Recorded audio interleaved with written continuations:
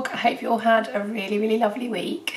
So today I'm going to whiz through my fabric picks for the month, things that I'm hopefully going to make. I haven't done one of these for ages as you might have noticed um, but I'm quite excited I've just been looking through the shop picking out fabrics and I think I've come up with some goodies a couple of them I'm not actually certain what I'm going to do with them. I just love them so much. So hopefully you'll be able to give me some ideas. So before I start, I have a really big favour to ask you all. I know I've asked this before, so I hope you don't mind.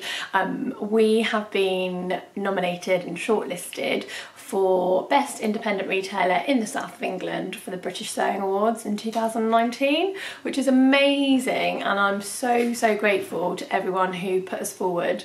really means a lot to me. Um, we were shortlisted last year and we were highly commended. So I would be really, really grateful if you could take two minutes just to go and vote for us. I'll pop the link down below. It's run by um, Sew Magazine, but it's all voted for by members of the public. So it's a really, really special award. And um, I think there's about £1,600, £1,700 worth of sewing prizes that you can win if you um, vote. So it's worthwhile voting as well. Um, but yeah, I'll pop the link down below and the voting does close in a few weeks. So if you could take two minutes to do it, I would be so grateful. Thank you. I'm going to show you what my plans are. So the first thing I'm going to start with, I want to make another indigo dress, Tilly and the Buttons indigo dress. So if you watched my makes vlog, sorry, making the table wobble. Um, if you watched my makes vlog last week then you'll have seen that I've made a couple of these already and I do really like it. I made a couple of modifications to my second one and I think I'll do the same with this. But I've got two fabrics to choose from and I can't decide which one. So um, they're both the Atelier Brunette um, viscose. They're both from the Granito collection. Look at those so pretty. So this is the night colour, which is like, it looks a bit navy on the screen. You just hold it up so you can see it's got that quite, wait for it to focus in, it's got that quite sort of bold um, kind of medium scale terrazzo print, which I love, and I love those colours. Um, but yeah, it's, it's a night colourway, which is sort of well it is night really. They've described it pretty well. It's between kind of black and navy. So I think it's the type where if you held it up in certain lights it would look black and in others it would look um, kind of dark blue. We tend to call it inky but they've called it midnight or night. So there's that one and I really like it. And navy is kind of my safety fallback so I know that this will go with loads of things in my wardrobe. I know that it's a really wearable colour.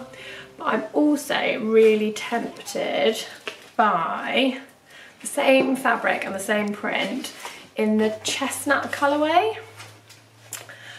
But I'm not sure if it suits my colouring. What do you guys think? So let me just unravel it. You can see it's got this both of them have got this really lovely drape movement.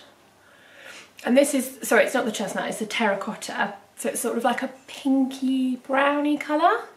And I don't have anything in my wardrobe in this colour, but I really love it. And it's so on trend at the moment that I'm wondering whether I should break out of my comfort zone and go with this one instead.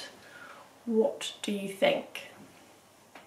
So I've got that one or that one. Uh, Old Faithful, new favourite. Which one should I go for guys? If I don't make the dress out of this one, I have already in my head pictured a maxi skirt instead because I think if I decide that it doesn't go with my colouring, although I think it's I think it's quite nice. Um, then I think it will work really well as a maxi skirt away from my face. And then that one could be the... What do you think? Let me know in the comments down below. Um, I can't wait to use it. I um, have got an Eve dress in the other Atelier Brunette fabric, or one of the other Atelier Brunette fabrics that we've got in stock that I showed you in last week's makes vlog. And I just love it. It feels so nice to wear. So that's that one, or one of those ones. So maybe I'll use both. who knows. Um, then the next one is a really, really sensible choice for me, which is quite unusual. This is our Black Rio Crepe. So if you've been following for a while, you'll know that we stock this crepe. I'm gonna hold it up so you can see. It's blacker than it looks there, it's just the light. Okay, so it's a really jet black crepe. We stock this crepe in lots of different colours. Got it in black, in navy, in plum, in teal, khaki, all sorts. It's a really nice medium weight crepe. It's got a tiny bit of stretch in it, so it's good for things like trousers and um, culottes and skirts and dresses. I've made quite a few things out of it. And I have made, sorry, I keep sniffing. I have made a pair of Winslow culottes. I've made loads of pairs of Winslow culottes, but I've made a pair in this and I wear them to death all the time. But I'd quite like to make a top in this fabric so that I could then pair them together and have a faux jumpsuit. Jumpsuits are really in at the moment, as you all know, but um, I haven't yet braved fitting a jumpsuit on me. So I'm thinking if I go kind of faux jumpsuit and then I can see if I like the shape and I can wear them both separately. That is my plan. But I haven't decided which pattern to use, so I also need your help with that if you could give me some ideas. I'm thinking of something quite simple, um, probably with a grown on sleeve um, and a nice round neckline. I think maybe just something simple like the Grainline Scout tee. It needs to be long enough and loose enough so that I can tuck it into the culottes and it blouse a little bit but not too much. I could go for something like the Tilly and the Buttons Stevie and just change the shape slightly because I do like the sleeves on that, but I'm not certain. Um, or maybe I could go for something a little bit more interesting and do like a, a v-neck, a, a wrap v-neck, something like that.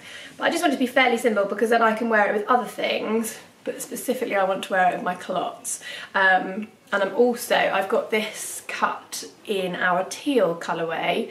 I'm hoping I'll make a pair of Winslows in the teal as well. And then I was thinking if I like it and I like the top that I make out of this, then I've got sort of two mix and match things and I could wear the black um, culottes with the teal top and vice versa and then I can wear them together. And I just think it will, yeah, really add to my wardrobe, but I can't decide on the pattern. So let me know your suggestions in the comments down below. Okay, the next one, let me just pop this over here, oh, is oh, this lovely snuggly Ponte. This is called Sandy Leopard Ponte. You guys know how much I love a leopard print. So this is really nice medium weight Ponte. It's got a sort of black background with sandy coloured animal print and then that kind of sand colour is woven in throughout. And I'm going to make what I'm wearing now. So this is a Sew Over It Heather dress. I absolutely love it. I'm quite close to the wall, so I'm not sure if I can stand and show you. Let me just put the camera back a bit. So you can see it's got those big cosy pockets. Um, I really like the shape of it and it's sort of mid-thigh. Perfect for this kind of weather. So yeah, I think I've got another blue and kind of sandy coloured one that I've had for years and I wear it all the time in the autumn winter. I thought this would be really lovely. So um, yeah, I'm going to do that. The only thing I need to remember about this is just like this fabric, this fabric only has stretch on the cross grain so it's nice and stretchy. It'll be absolutely perfect for this. But sometimes I try and save fabric and do a bit of pattern Tetris and move my pieces around. And when I did that with this I forgot that it only had stretch on the cross grain. And a couple of these pieces I think so that one's obviously cut the right way. But I think, yeah, this panel was cut. I turned it around to the sides, there's no stretch in it. Luckily there's enough stretch at the front. I know it's at the back. So if I turn around, it looks like there is, but there isn't any stretch in that bit. But luckily there was enough across here and here and luckily I cut the sleeves the right way. Um, it was just those two panels but I managed to make it work. So this time I shall make sure that I take enough fabric and I shall, yeah, cut it all out the right way. But I think that's going to look really nice. Even as I hold that up, I think I can't wait to make that. And hopefully won't take me too long. The heather's a really speedy make, except for sort of just making sure you've got your head around the pockets the right way. Looking forward to that one. And then the other one is a jersey make too. And it is this beautiful art gallery cotton jersey. I thought that my makes were a bit sort of subdued in colour this month because see I'm switching over to my kind of wintry, cosy makes and there's a tendency to go for those darker colours. But I um, yeah I really love this and I've actually sort of half made it already so I'm sorry if that's cheating but um, I made a Liesl & Co. Maritime top out of this fabric a little while ago but I haven't hemmed it because what I actually want to do is cut it shorter and add a skirt at the waist and then make it into a dress. So that's what I'm going to do this month. It's been on my list to do I think, yeah, I made it in June, so it's been on my list to do since then. So I'm going to do that this month because again, that won't take me too long. Um, I'm just going to decide what style of skirt I add onto it. I was thinking of maybe a pleated, just a really simple pleated skirt, but um, maybe I'll go for something a bit more fitted, or maybe even a gathered skirt. I haven't decided yet, but watch the space. But yeah, look at those colours. Aren't they just beautiful? It's like a sort of orangey toned red and then you've got all these lovely florals and these blues and yeah really really beautiful colours. I just think that will help. You know how can you not be cheerful when you're wearing a nice bright red dress? So those are my makes. Um, or those will be my makes fingers crossed. Let me know your pattern suggestions and which of the Atelier brunettes you think I should pick. We've also restocked a load of the other Atelier brunettes on the website as well. So I'll link all the fabrics down below um, and you can find them on our website and you can also check out our other new in arrivals. I could have picked so many things to make this month, but I'm trying to be realistic with how much I can actually get done. There might be a couple of other things because I might get a little help from Lisa um, with some of our shop samples. So yeah, there might be a few other things I can show you this month, but let me know what you think. If you've enjoyed the video, then don't forget to give this thumbs, thumbs up and subscribe. I'll go and put my teeth back in and hopefully next week I'll be able to talk a little bit better. anyway, guys, I hope you all have a really, really good week and I will catch up with you soon. Take care. Bye.